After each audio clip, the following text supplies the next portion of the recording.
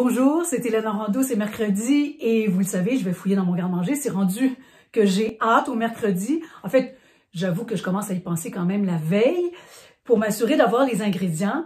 Euh, et euh, j'y prends vraiment plaisir. J'espère que c'est le cas chez vous aussi.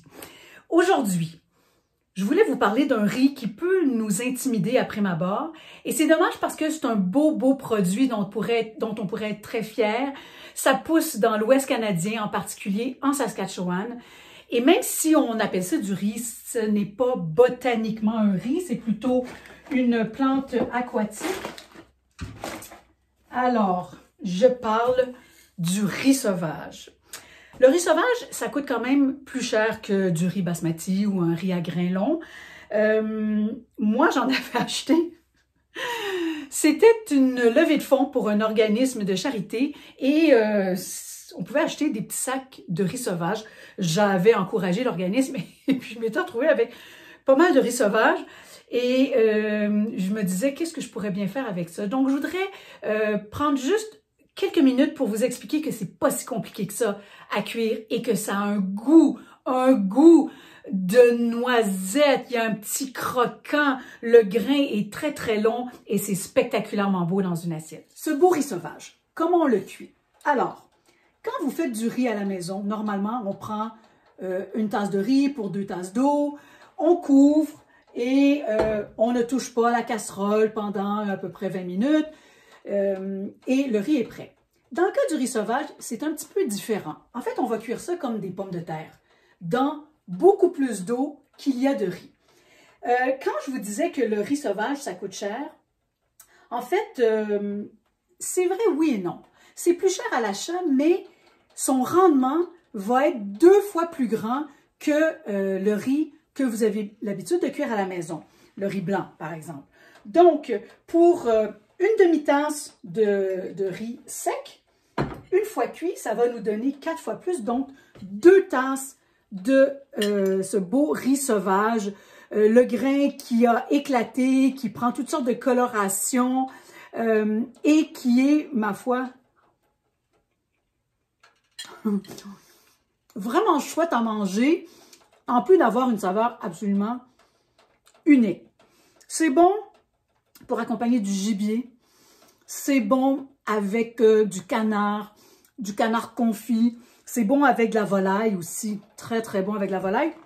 On peut servir chaud ou froid, en fait, en salade. Ça pourrait être, par exemple, une belle salade euh, avec du riz sauvage, du poulet et d'autres beaux ingrédients qui se marient bien avec le riz sauvage. En salade, j'ai pensé euh, au fenouil, qui est merveilleux, des pommes, des canneberges séchées. Pensez à tout ce qui est canadien dans le fond. Hein?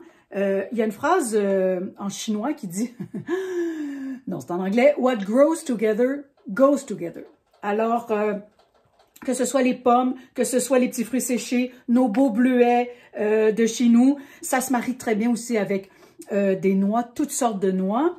Et comme je vous disais, donc avec avec la volaille. On pourrait aussi le servir euh, euh, chaud avec euh, des petits oignons, des champignons, un petit peu d'ail.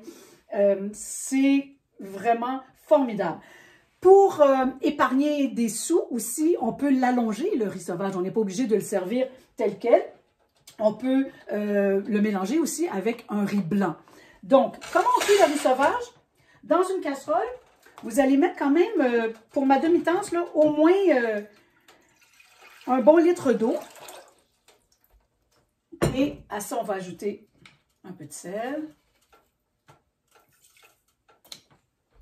Et puis, euh, on peut ajouter tout de suite notre riz sauvage parce qu'il n'y a pas vraiment de technique euh, très compliquée pour la cuisson. En fait, ça va être de le surveiller. Ça va prendre, euh, selon la fraîcheur du riz, ça peut prendre... attendez, je me prends un petit ustensile. Ça peut prendre 35, 40, voire 45 minutes. Moi, celui euh, euh, que j'ai cuit hier soir, euh, il m'a pris 45 minutes. Ne désespérez pas parce que, je vous disais, le riz est très, très long, très foncé avec un beau brun soutenu, mais il va finir par céder, il va finir par éclater. Il y a des recettes où on nous demande de le faire tremper à l'avance pour diminuer le temps de cuisson. Je vous dirais que ça vaut pas vraiment la peine parce que d'abord, il faut y penser, de, le mettre peut-être la veille euh, dans un, bol d'eau. Et euh, pour avoir fait le test, j'ai diminué mon temps de cuisson d'à peu près 10 minutes. Alors, est-ce que j'ai sauvé beaucoup de temps? Euh, je trouve que ça vaut pas la peine, donc c'est pas compliqué. On l'amène à ébullition. Lorsque l'eau bout, on baisse notre feu et on laisse mijoter doucement. À la rigueur, on peut mettre un, petit couvercle euh, à demi comme ça, juste pour euh, pas trop que notre eau s'évapore. Et euh, ben, après, après tout ce temps d'attente, vous allez voir que ça valait la peine. Bonne journée!